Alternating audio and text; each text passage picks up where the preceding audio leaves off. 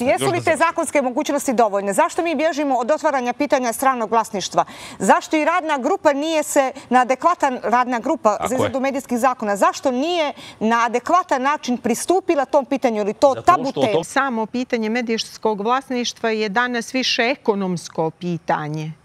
Jer e, ako pogledate televizije koje su u stranom vlasništvu danas u Crnoj Gori, one nemaju sve istu uredničku politiku i to moramo konstatovati. Među njima postoje neke, neke razlike. Na neki način to pitanje, e, sa, sa ozbiljnim rješavanjem toga pitanja smo na neki način već zakasnili. Od kako su se razdvojile Srbija i Crna Gora, Srbija nikako ne može da prihvati, bez obzira ko je bio na vlasti, a sada pogotovo ovih posljednjih 12 godina, što se to dogodilo, i pokušava da pojača svoj uticaj na Crnu Goru, ne bi li se politika Crne Gore e, promenila i ponovo priklonila Srbiji? A, ne radi se tu samo o medijima.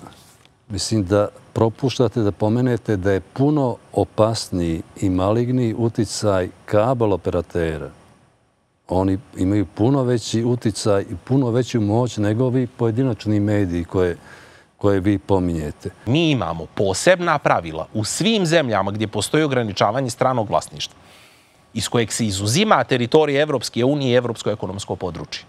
Dakle, vi sad pogledajte, kakve god zakone da donesemo, mi možemo da ograničimo vlasništvo Kineza u Crnoj Gori nad medijima. Ali mi nemamo ni jedan medij čiji je vlasnik Kinez.